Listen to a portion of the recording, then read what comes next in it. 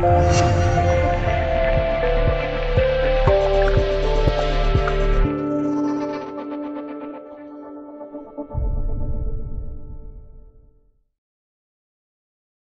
所周知，俄罗斯一直是欧美等国的敌对国。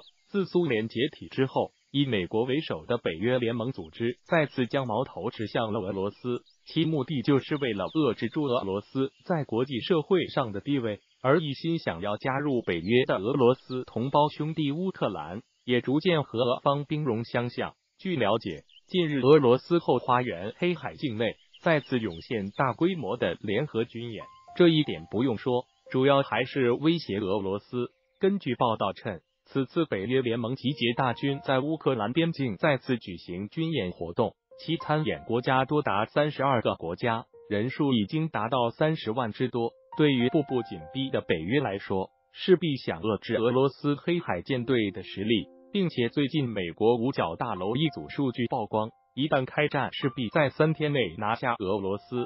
虽然未经证实。但是已经确实对俄罗斯造成一定威胁。不过，对于俄罗斯来说，此前就曾坦言称，倘若一旦触碰俄方的底线，那么俄方重启核武也不是不可能的事情。不过，联合国也曾表示，希望俄罗斯三思后行。由于核武的威力巨大，一直是明令禁止的。对于俄方想要触动，必将遭到制裁。